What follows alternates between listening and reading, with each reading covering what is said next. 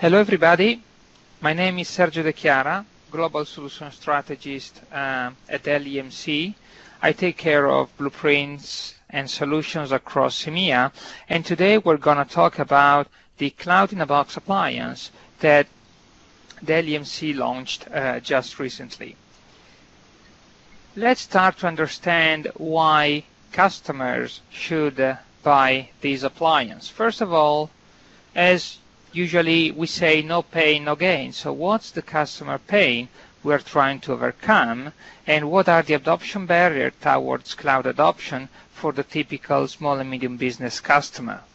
First of all, there is the know-how. Cloud is perceived as something complex and uh, even though the public cloud provides uh, some facilitators, then it's usually more expensive or perceived as less secure. So customers just do not uh, adopt public cloud in SMB or those who would like to stay on premise just implement a standard virtualized uh, infrastructure.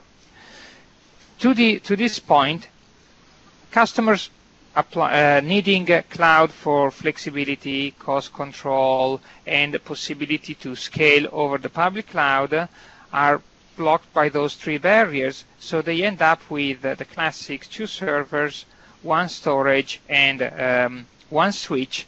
Then they deploy the traditional um, virtualization infrastructure with some professional services from a partner or consultant, and then they deploy also a backup tool for the same amount of money, now we're able to offer an appliance that comes in a much more um, converged kind of fashion.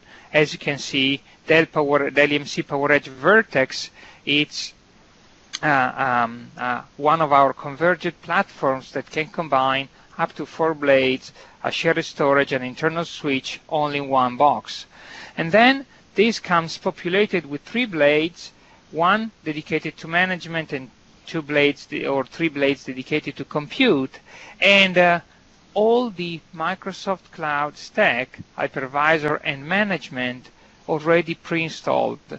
And uh, on one end, customer will end up with just virtualization, which is so um, uh, unadapted to current business challenges. On the other hand side, they can have an advanced virtualization platform cloud ready that can provide much more than just virtualization, but also monitoring, orchestration, local and cloud backup, local and cloud disaster recovery, and a hybrid cloud through data center extension, all in just 12 single steps. So this is very, very important, and let's try to understand why with this appliance, you can save on deployment costs, you can reduce risks on of doing it yourself, and you can implement cloud for the same price as a standard virtualization infrastructure. First of all, looking at the component, we have the VRTX, PowerEdge VRTX, which you should already know. And then we have the Windows Server hypervisor together with System Center as the Microsoft Management Stack and a wizard developed together with uh, one of our partners, technology partners, that actually customize the pre-installed cloud stack that you find uh, in the appliance to adapt to the uniqueness of the customer in terms of networking and authentication. So the good news is that this appliance goes straight from the Dell EMC factory to the end user location. Second, you get only one box in a converged infrastructure. Third, the deployment takes minutes.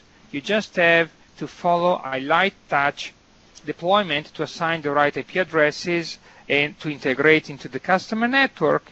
And out of the box, you get a full-featured private cloud that with a couple of clicks can easily be extended and connected to a public cloud service provider like Microsoft Azure and with a couple of clicks again can be configured to disaster recovery to another appliance on premise or to the public cloud, same for backup. So at the end of the day, you get hybrid cloud at the cost of virtualization. let's try to understand which kind of packages uh, we do provide as Dell EMC.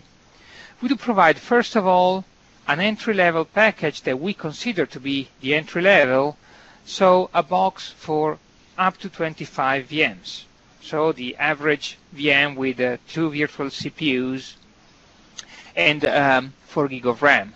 So you can get the Cloud in a Box CBX25 appliance and if you need more capacity you're not going to pay twice for the management stack but you're just adding cloud in a box extenders or CBX E that you can just buy as a disaster recovery target or as a capacity extension as we will see forward. Then if you need more capacity we have the CBX50 and CBX50-E which provides three virtualization blades rather than two. And if you need more than that, so up to 100, then you need to engage a Dell represent, EMC representative to go for a customized implementation because usually the storage becomes the bottleneck and we need to understand what workloads you're putting on those boxes and how much memory you're going to consume to size the appliance properly. So we just saw that from a customer uh, problem, we have three adoption barriers for um, for cloud: know-how, cost, and security. Let's start from the easy one: security. You get everything on premise. It cannot be more secure than that. And also, you can selectively decide which workloads or which services like backup, for instance, or disaster recovery move to the public cloud. When it comes to the cost, then we saw you can get these appliances for the exact same cost of what customers have today in their data center. And also, the deployment costs go down to zero because the wizard is easy enough for the end user to run. It also comes uh, in a with simplified procurement because you have like CBX25 and CBX50 as the 25 and 50 VMs appliance. So choice is also simplified. And when it comes to know-how, this is the third and last blocker, you don't need to know much about how to deploy a private or hybrid cloud because it comes already installed. And second, uh, regarding the operational aspects, we use and leverage the standard Microsoft toolset, which is broadly known in the industry. So if I have to make a comparison between building a car yourself and buying a car yourself and just driving it, everybody has a driving license, but very few people on the planet can build a, a car from scratch. Same applies with cloud. From a partner standpoint, what's the value of selling these appliances to your customers? Usually there is the misperception that if I sell an appliance to a customer, then I have less services opportunities, I lose the money for deployment, and I may look less uh, effective or less valuable to my customer. But actually, it's not that way. Let's try to identify the three areas where our customer can differentiate themselves from the, uh, the other competitors and make money. Number one, if you don't have much competencies around cloud, you're just not going to sell cloud. You're not going to implement anything to a customer. But cloud, it's a workload that it's booming these days. Everybody's demanding it. So having the ability to resell something without the complexity of actually deploying it, it's key. So very limited skills you can just resell and make money out of reselling because no deployment is needed. If you have some skills, then you can not just resell the appliance but operate the appliance because thanks to the monitoring and uh, backup and management tools, you can take care of making sure that the appliance runs properly over time. You can tune the monitoring aspects. You can create complex um, um, um, dashboards, etc. And also you can make sure that all the backup jobs and all the disaster recovery jobs are running and you can basically manage the appliance on behalf of the customer. So incremental services opportunities for you.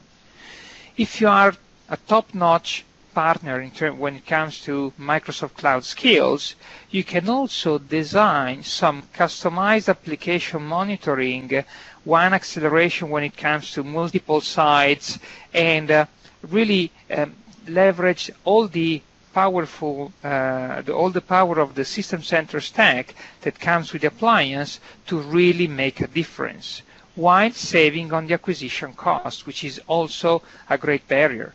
If you just think about that, um, deploying such a system will take from 5 to 10 man days, depending on your um, ability uh, and proficiency with the Microsoft Cloud Stack, those are money you're going to save. And so you can make it more approachable for a customer so that you can sell the added value that you can get out of the box uh, post-deployment. Let's now try to understand what are the use cases for this appliance.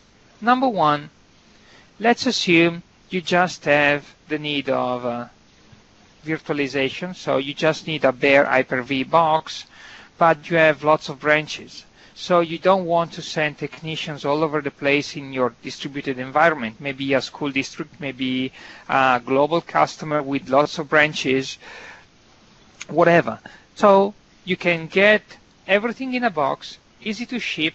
Actually, it gets shipped by Dell to the end user location. You just have to plug in the power cord, plug in the um, display, and then with a five-step wizard, you just assign an IP address to a couple of um, elements in the wizard and you're good to go with a fully installed Hyper-V server uh, cluster, sorry, that it's also connected to the customer um, Active Directory domain.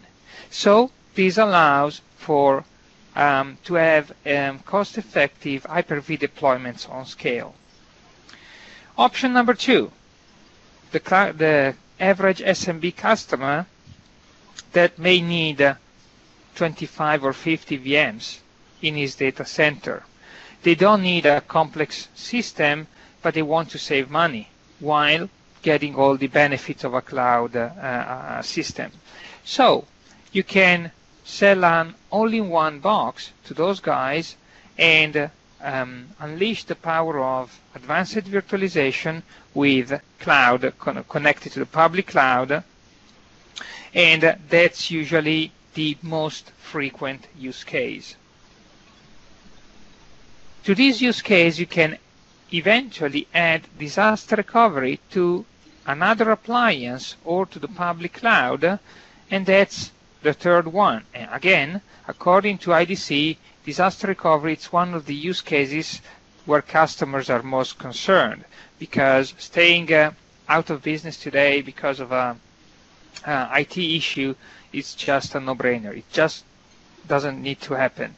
So if you have a customer concerned about high availability and business continuity or disaster recovery with its own services, that's a typical scenario for you you buy a one cloud in a box unit and a one cloud in a box extender unit if you want to do this on premise and then by following a simple wizard you see some screenshots in there you can select what do you want to disaster over the other appliance.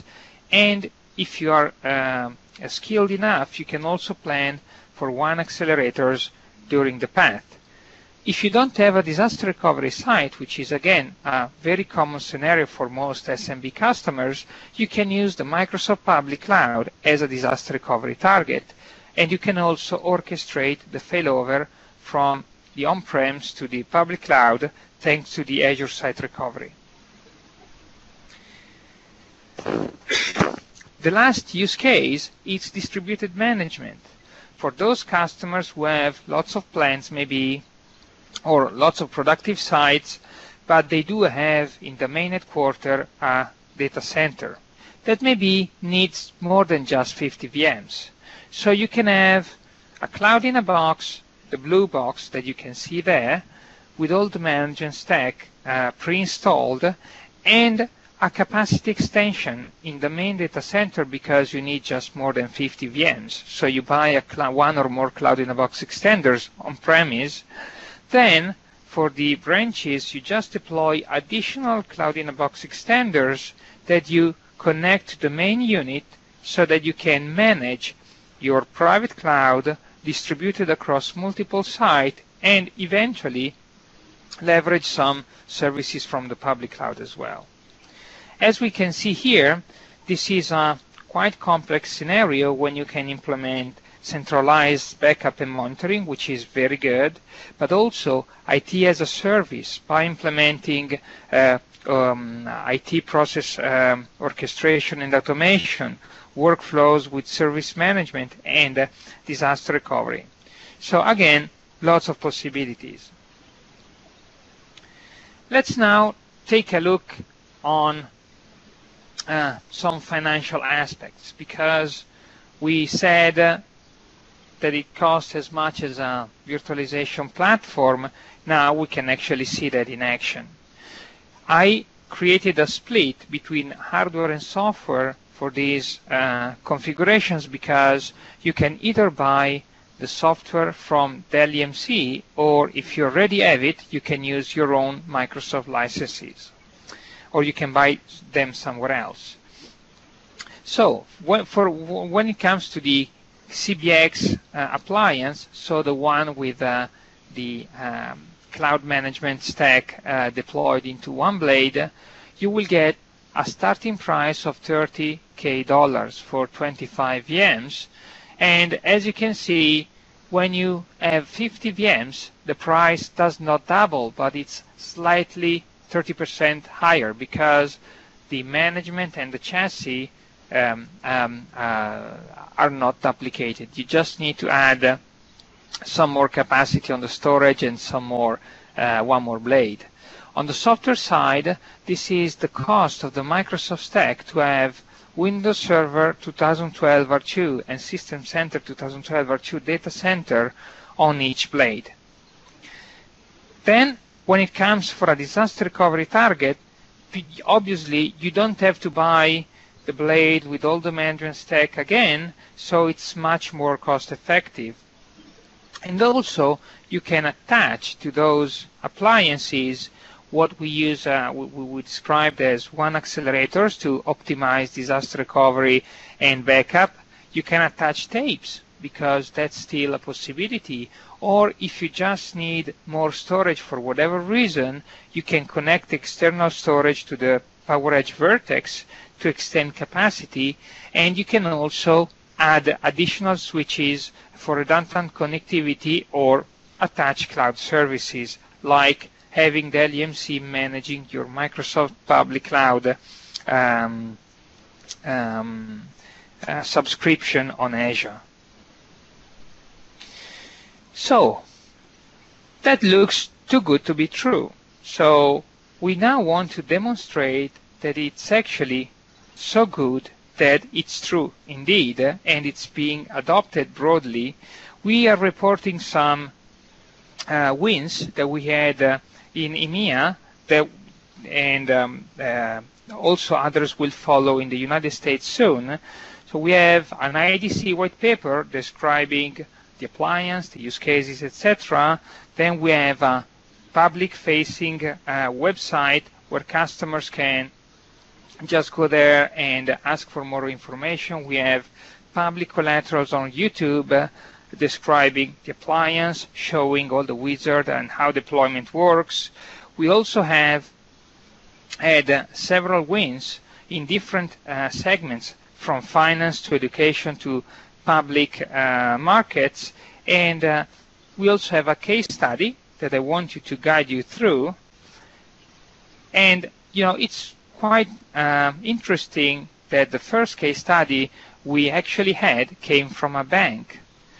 In this case, a bank got, uh, you can uh, uh, check it out um, on the public website, basically this bank had uh, an issue, a regulatory and compliance issue, because it didn't have disaster recovery and uh, the authority, the local uh, bank authority, was suing this bank because of this. So they went on the market asking to several vendors um, uh, what kind of um, so disaster recovery solutions they had, and uh, you know Dell EMC won because with this appliance we were 20% cheaper than anybody else and we did disaster recovery to the public cloud uh, making it very very cost effective for them. So what happens when you spot an opportunity? You go to a customer, you spot an opportunity, now you need to register the opportunity on Salesforce uh, through a deal registration and in order to help us understand this is a cloud in a box opportunity, you need to add the proper product into the product category. Then when it comes to qualifying the opportunity, there are several collaterals available through the Dell EMC um, uh, people that work with you, but also on a public uh, drive that we set up for you when you can find videos, presentation, all the case studies collected. And then when the proposed time comes, customer wants a quote. So you need to engage with uh, the Dell EMC counterparts and ask for a quote and, and then you're good to go. Just to provide you some insight, what's available internally, quite a bunch of content, what's available externally, so visible from customers and partners, there is an hyperlink down here when you get a full end-to-end -end deployment videos, you get the case studies, you get the IDC white paper, you get all the presentations and collaterals that come along with the appliance for you to understand how it works, what are the components, and uh, get a better understanding if that's the right product or solutions for you. That said, I encourage you to go on the public website, take a look at the collaterals, and thank you for your participation.